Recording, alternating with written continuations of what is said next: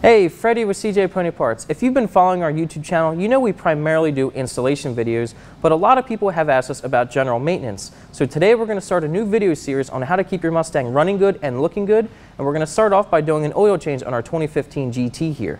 Ford recommends for the 5 liter to take 8 quarts of 5W20, the V6 to take 6 quarts of 5W20, and the EcoBoost to take 5.7 quarts of 5W30, all in either synthetic blend or full synthetic. Today we're going to be using this Motorcraft FL500S oil filter. This fits all 2011 through 2016 3.7 V6s and 5 liter V8 Mustangs.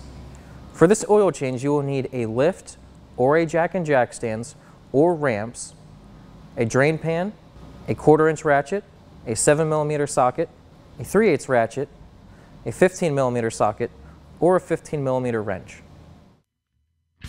So we're going to start off by draining the oil in our 15 here. You want to make sure you do it when the oil is warm so the oil comes out nice and easy.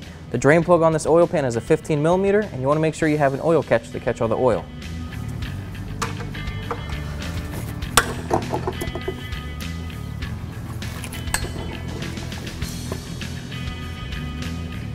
Now when you're removing the oil plug, you want to apply force upward and then once you have all the threads out, you pull the plug out. But keep pushing up this will help you create a lesser of a mess. So I have all the threads out, it's kind of loose. When you remove the drain plug, take a look at the bolt and the seal and make sure it's not damaged. If it's leaking or if it's damaged, replace the bolt if needed. But in our case, the bolt and seal are good, so we're going to reinstall it. Now that all the oil is drained, we're going to reinstall our plug. Thread it in by hand first. You do not want to strip the threads on this oil pan.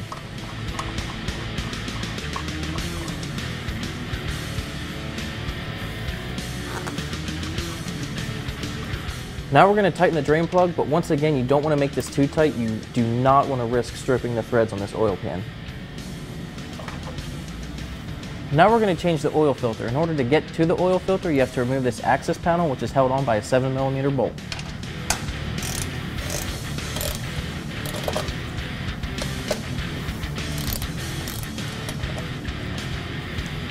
Now we can easily get to the oil filter.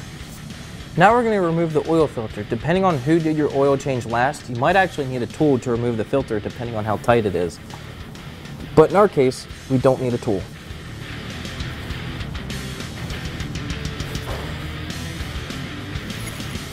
And here's a little trick to make a little bit less of a mess.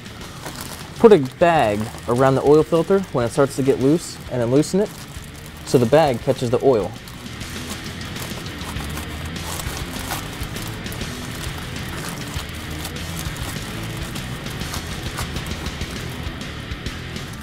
There we go. And then drain the filter in the pan. Now if any oil dripped, you want to clean it up before installing the new oil filter. Now while there's arguments both ways, we like to put oil on our O-ring before installing the filter.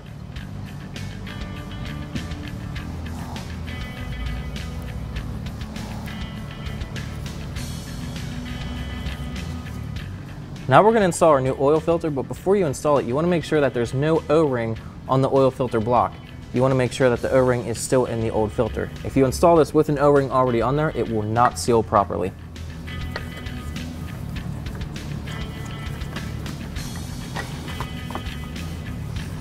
And you just want to tighten this by hand. You do not need to tighten it with an oil filter wrench or you might not be able to get it off next time.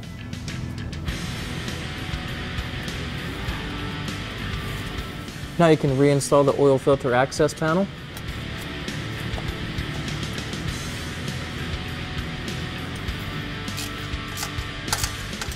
Now we can add the new oil. Now we're going to remove the oil cap to put the new oil in. It's not entirely necessary, but if you want to lower your chance of getting a mess everywhere, you want to use a funnel when adding the new oil.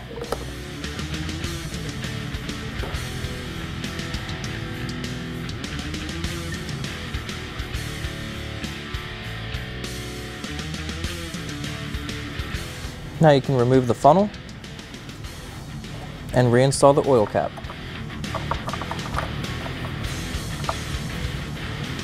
Now even though you followed directions and filled it up with the proper amount of oil, you still want to double check the dipstick and make sure it's filled up properly. So you can see that we have the proper oil level on here. We can reinstall the dipstick.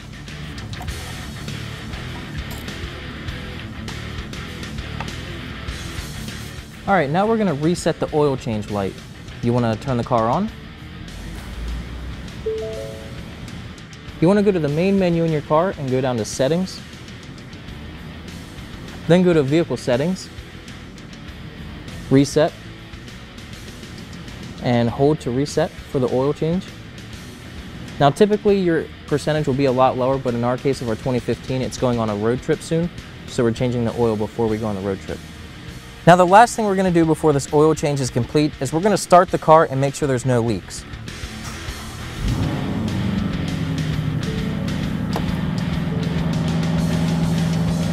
Okay, so our car appears to not be leaking any oil. We can go ahead and turn off the engine.